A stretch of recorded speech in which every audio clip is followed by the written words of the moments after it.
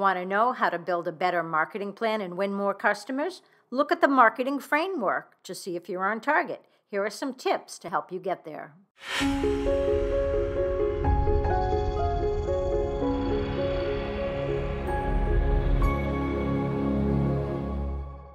Hi, I'm Robin Samora with the Fast Marketing Minute. I'm your marketing and PR expert, here to help you grow your business and brand. Let's talk about what it takes to improve your marketing plan framework. First, market research is more important than ever. Research counts whether you do it yourself or outsource the task. Without it, you're throwing darts at a wall. Think of it as a deep dive in your brand and your competition. It gives you insights that may be surprising. Second, study the competition. Invest time to research the competition from every viewpoint.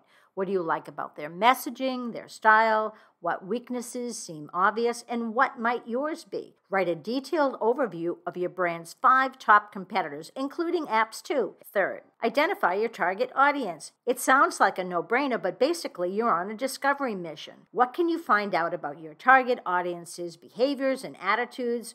Where do they hang out? What do they read? What groups do they belong to?